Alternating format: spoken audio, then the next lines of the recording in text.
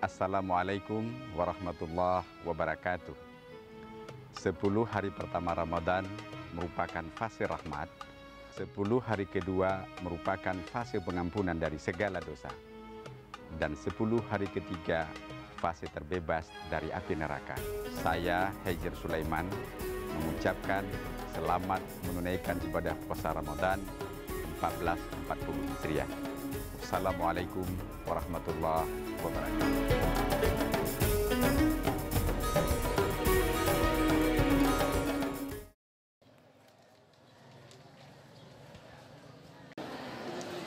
Syederollen, jajaran Dinas Pendidikan Pemuda dan Olahraga Birun, melakukan pertemuan perdana dengan 220 CPNS guru yang lulus tes beberapa waktu lalu.